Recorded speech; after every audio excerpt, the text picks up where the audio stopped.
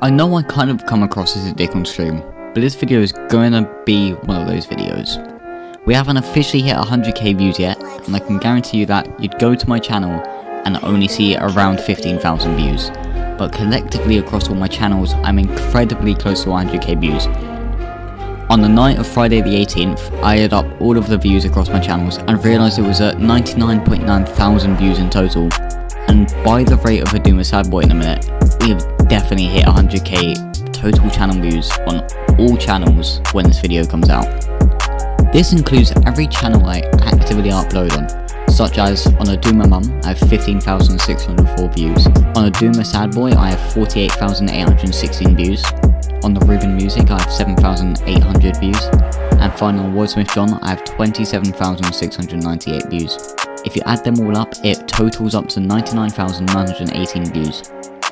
I am honestly so thankful and grateful to have reached 100,000 views on all channels combined, and cannot wait for one of the channels to hit 100,000 itself.